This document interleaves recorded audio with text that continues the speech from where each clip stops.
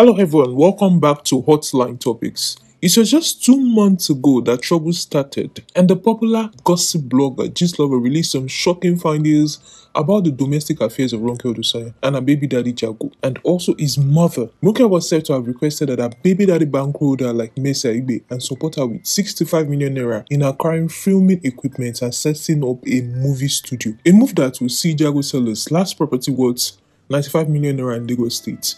But then they said his mother stood in the way, alleging that he is under the influence of champs and that he's not thinking straight.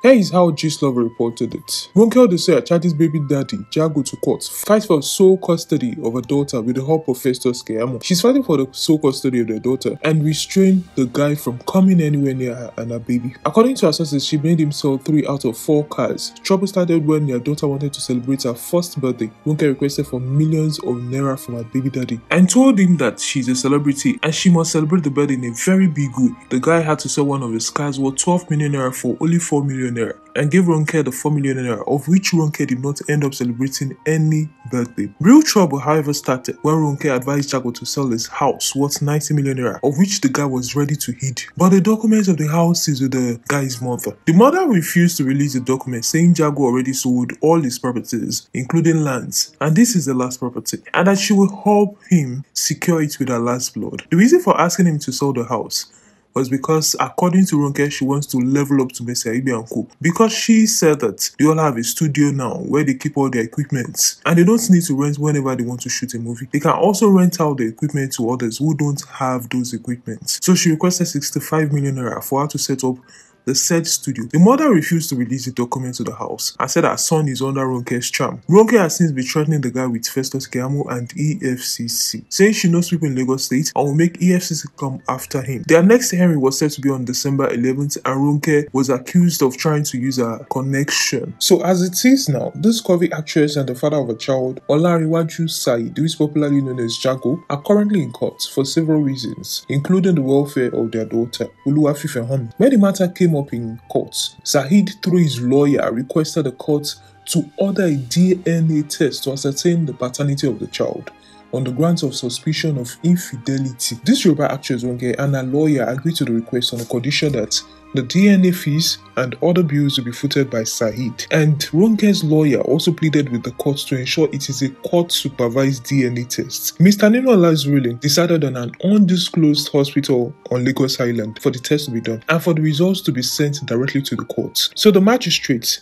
Mr. Nimola, has adjourned the case till March 31st for further hearing. And on how Ronke and her baby daddy's relationship started, he said that he started in the DM when he was in Kenya and he sent Ronke a DM saying he likes her. She then jokingly asked him if he can shoulder his responsibilities. He said yes. She requested for 3 million naira and Jago sent it to her. She was shocked. That was how he booked her flight and Ronke went to Kenya to meet Jago. Few months later, Ronke requested for money for liposuction. She wanted to remove the fat in her tummy to Anyash. And According to Gistlover, Jago single-handedly paid for the liposuction of the big yash. Also, Ronke accused Jago of stealing her gold chain worth 50 million naira and also accused Jago of domestic violence. And according to Gistlovers, they said Jago told their sources that he did not steal any gold and Ronke does not have any gold worth 50 million naira. Rather, he is the one shouldering all her responsibilities, both her mother and her brother cars, loaned Ronke's brother 5 million naira. And on if the allegation of domestic violence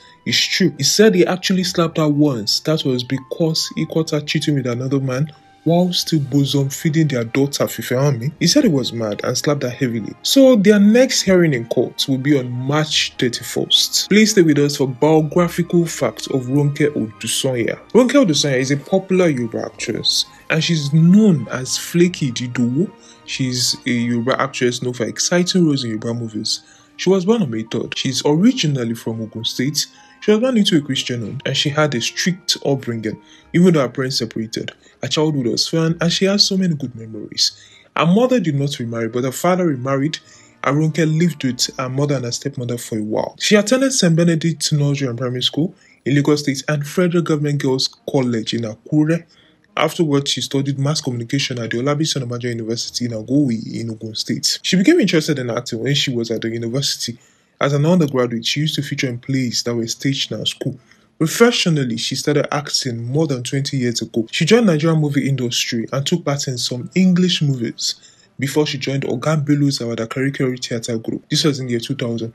That was where she honed her acting skills. In 2001, she featured in her first Yoruba movie, Baba Ologba, alongside Adebayo Salami Oga Bello and Femi Adebayo. Since then, she has featured in several movies and played lead roles in many. She's not only an actress, she's also a movie producer. This curvy actress has several nicknames. At the beginning of her career, she used to be known as Ronke Akko. At our career organization, she's also known as Becky, which was the character she played in Funke Akindele Bello's two-part movie Jenifa. However, Ronke Ididowo thinks the name that has stuck over time is Flakky Ididowo. She got this pseudonym after she played Folake in a movie produced by Fathia Balogun. Some years ago, Ronke revealed in an interview that being in the limelight has its disadvantages. One of the demerits of being in the limelight is that one finds it difficult to find true love.